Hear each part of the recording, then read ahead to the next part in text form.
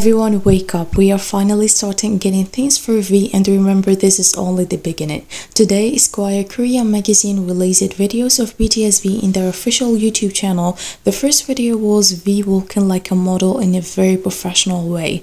I love it, it was filmed in Paris, I can tell from the outfit. And the second video which was literally breathtaking, I can't describe it. V was looking unreal, he was so handsome, so elegant. Like for real, the second video made me speechless. If you are wondering why those videos were filmed, is this something related to V debut as a solo artist? The answer is no. This is something about Celine. He's promoting Celine collection and as you know, Army's V is Celine global ambassador, so he will definitely promote them. It's not something related to his solo debut or something. Although those clips were published only a short time ago, everyone is talking about them.